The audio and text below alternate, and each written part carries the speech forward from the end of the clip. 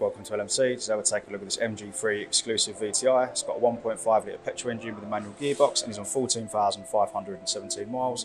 Nice light blue colour to the vehicle with polished alloy wheels. Gorgeous five door hatch shape, perfect for town and city driving. It's just nice and easy to park and of course very economic as well. Chrome features on the grille surrounds, fog light surrounds. Comes to the rear of the vehicle, nice short rear end, again making it easier to park, aided by its rear sensors. And you've got these nice big bright rear lights. Plenty of boot space, especially for a five door hatch. Perfect for day to day use. And in terms of the interior, nice amount of legroom with half leather seating throughout. And storage at the back of the two front seats.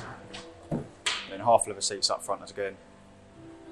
Window controls, and automatic headlight controls on the left stick. Nice clear instrument cluster, very simple design and easy to read. Steering wheel controls on either side of the wheel.